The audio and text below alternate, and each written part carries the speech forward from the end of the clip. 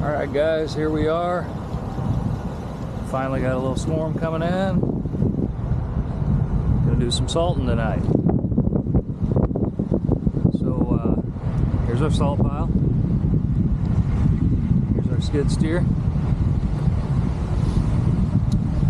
Right now, we've got a little bit of a snowstorm coming in. They're calling for uh, just a trace to about an inch. Temperatures are to be dropping tonight down to 10 degrees or so. Cold the next couple days. We've already got quite a bit of residual down. You can see from the other day, we've got a mess in our salt pile because it was negative five degrees and that stuff didn't clean up very well. But We've still got some residual down, but it's getting wet.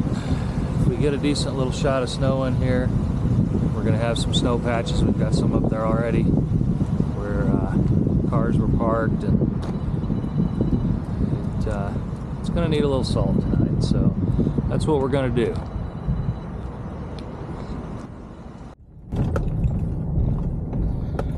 All right, it's 12:38 now.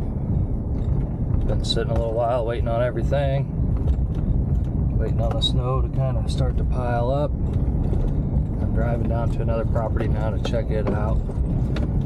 Got quite a bit of residual out, but looks like we're going to have to do something here the way the roads look. We're definitely still on to go at 1 o'clock. It's just a matter of uh, how much we're going to be throwing to keep up with this.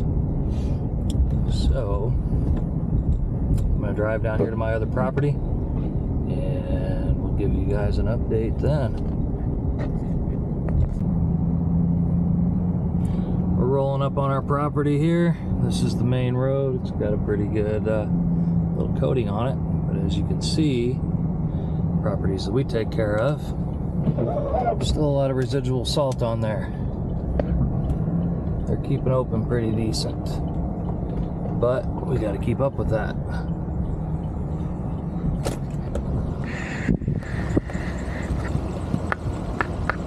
See, we've got a little bit of tracing out there.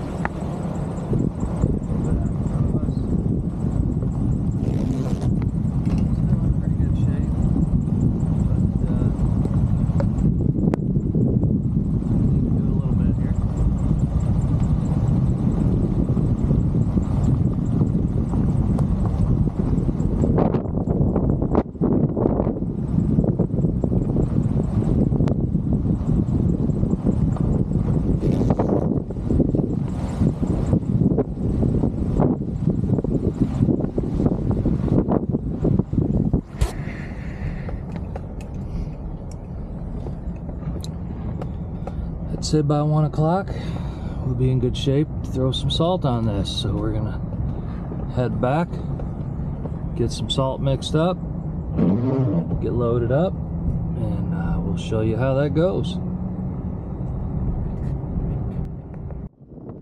We're at the salt pile. We're gonna start loading up. I know it's kind of windy. I don't have a mic, so the sound's probably not very good.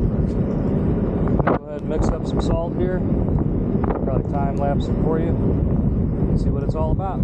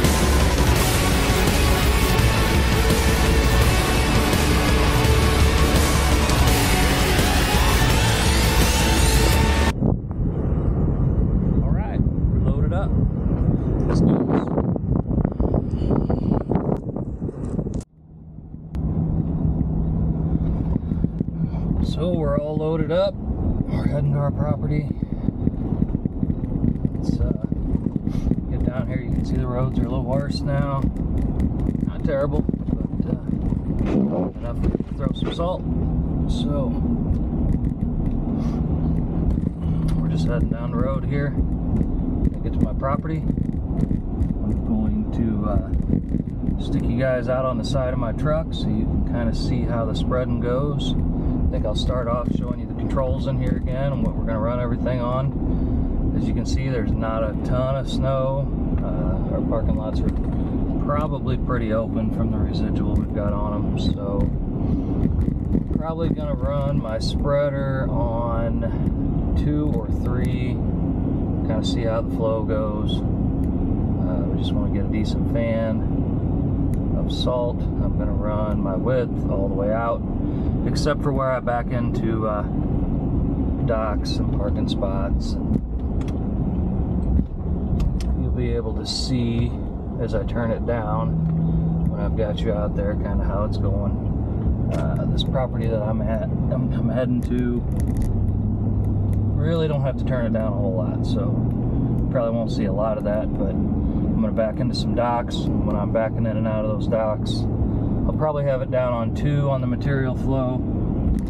Uh, that way, as I trace back and forth, I'm actually applying a little heavier than just a two if I was driving around, uh, not going back over places that I've already done. So, in those dock areas, I'll turn it down a little bit. I won't turn my spreader off. I'll just pull up, hurry up and back up, pull up, hurry up and back up, and it'll kind of retrace it as I go. So the lower setting will put a little more down because of the retrace. Um, as I run out in the open parking lot, I'll probably run three or four, just kind of depending on what I need to make sure I've got enough down. So we'll get you set up here in a minute. Let's see, we're uh, we're almost there now, so just get started right here in a minute.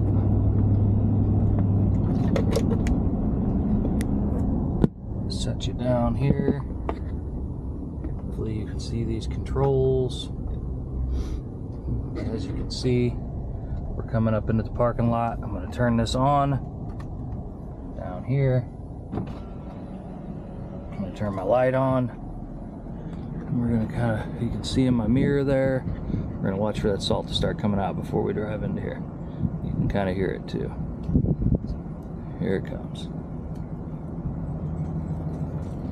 There we go. We've got salt. Now if you look in the mirror, you'll see it kind of throwing out through there. We're just gonna, we wanna run it right up against that curb. Put you out here, actually stick you up on the roof.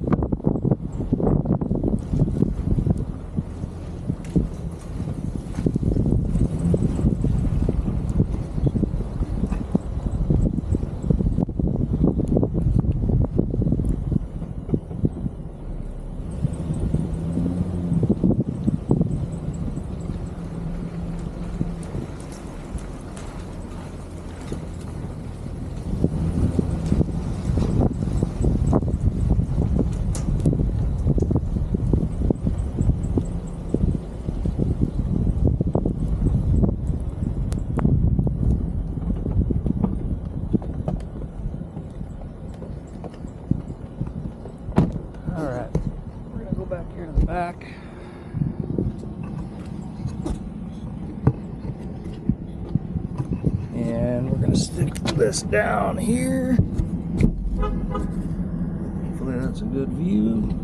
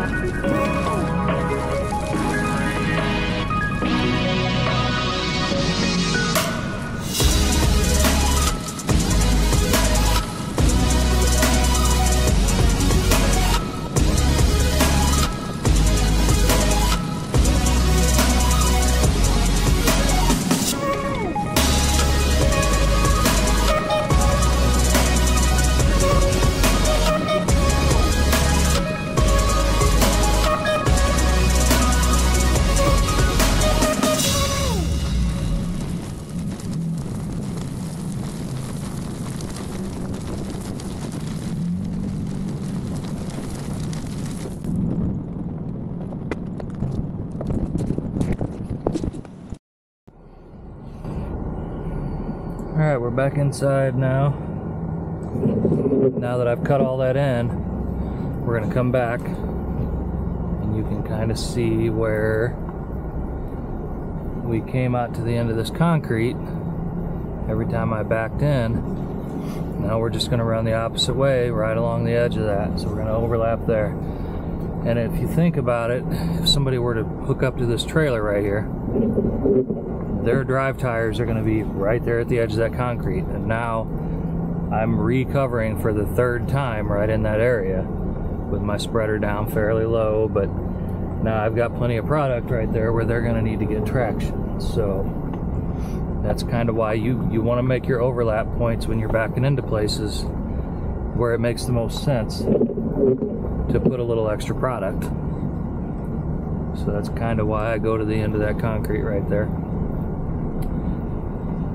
So now we're just gonna run laps around this. I've cut all this in, I cut all this in in front of us.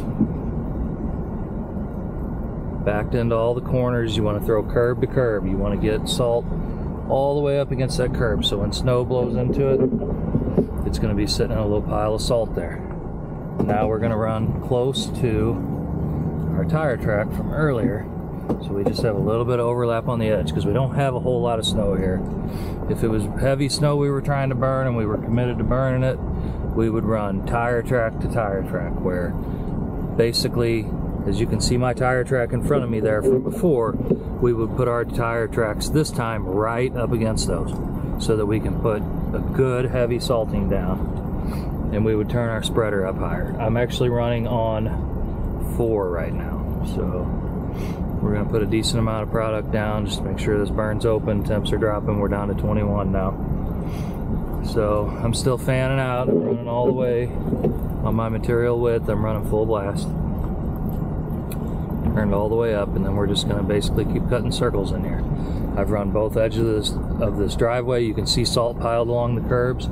You don't want a ton of salt piled along the curbs, but you wanna have some. You wanna make sure you're bouncing up against that curb because if you're not, and you have snow drift up into that corner, you're not going to get it clean, and it's always going to blow into the corners, and it's you're going to have a, a cut-in edge there that's rounded, and it's not curb to curb, and we do curb to curb service, so you got to do it right. So we're just going to keep running laps around here now that we've got all the the other stuff done. Try not to bore you too much with that because you're kind of getting it now. Um, and at the end where we can't make that, that turn once we get close to the other side where we're narrowing it into the middle then we'll kind of figure eight it at the end so that we can get full coverage. Like right now I'm starting to get to where if I keep doing this I'm going to track over that same spot every time. So next time I'll have to cut it in around the other side. You'll kind of see here in a minute.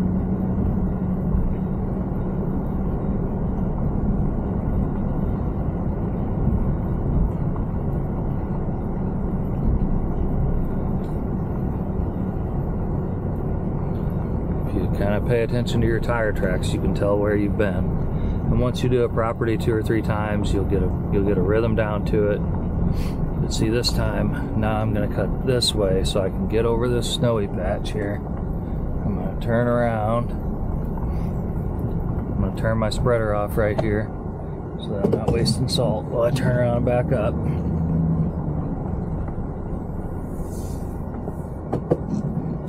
And this time, we'll line back up where we were. Turn my spreader back on right now. It's throwing again.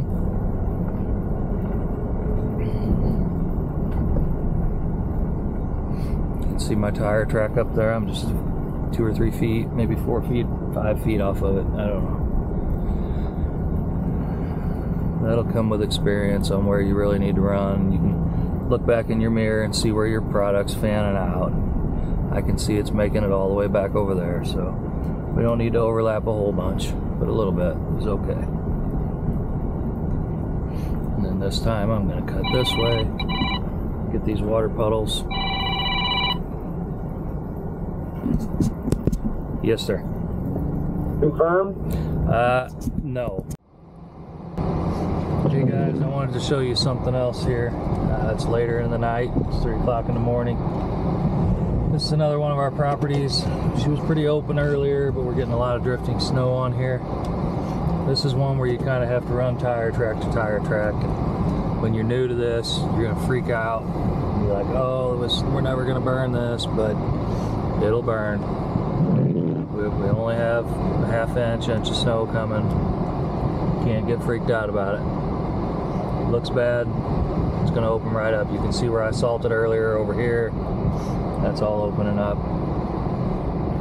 we'll come back in 30, 45 minutes after I throw this tire track to tire track, and it'll be it'll be burned open good. We're probably gonna have to throw another round tonight, but this is just one of those things that just remember that uh, you're gonna have moments where when you're on your own, you're gonna freak out and think, oh, why aren't we plowing or whatever, whatever else.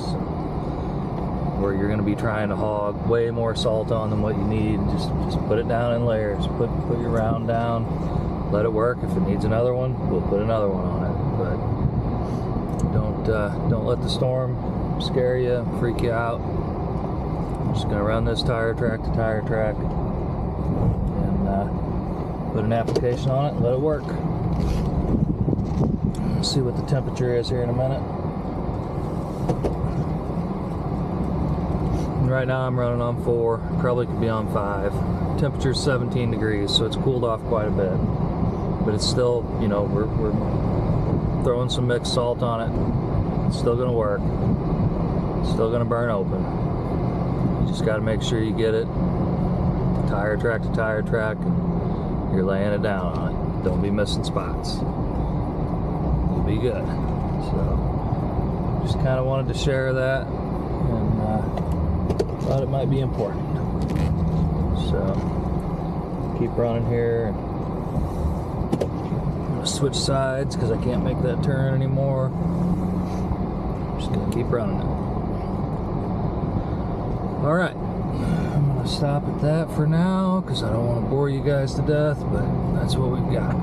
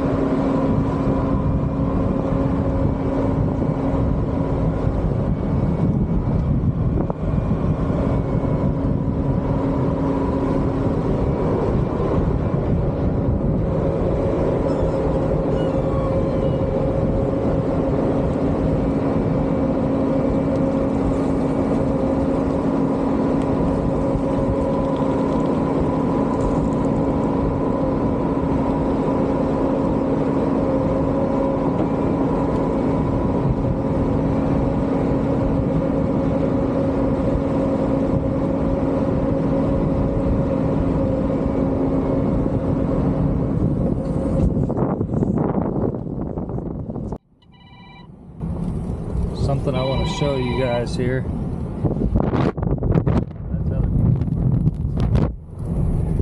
Over here. That is not the level of service that we give. So, I'm going to show you one of mine here in a minute.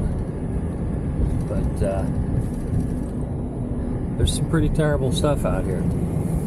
So, keep in mind, it's not When we do curb to curb, we do curb to curb. Our clients can count on us to have nice parking lots when they come in. I don't uh,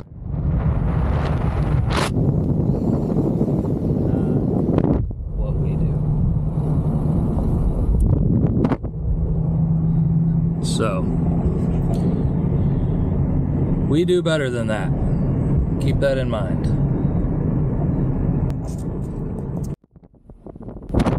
There's another one, and another one, and another one.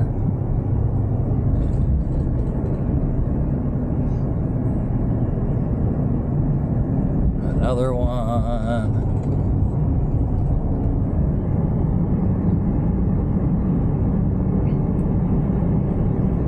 Do better, guys. Do better. There's Frito Lay. Not good.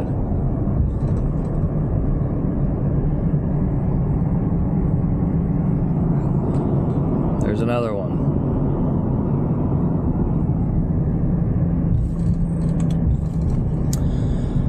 We'll roll up into ours that we're getting ready to touch up, finish up for the night. It's 4:30. About got them ready for everybody to come in. 5 o'clock, 5:30, 6 o'clock.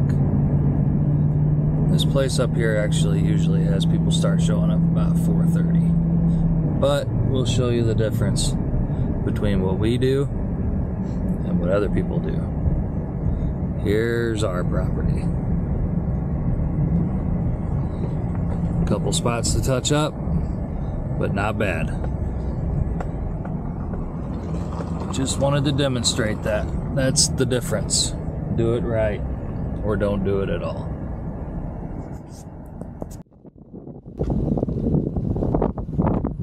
Here it is, guys. 23 in the morning. Done a touch-up round. This is all that stuff back here that I said earlier was covered up pretty good and thought somebody might get worried about, but burning wide open. I just threw a little bit more salt on it. All this will open up nice by the time anybody gets here. Nothing to worry about. It's cold.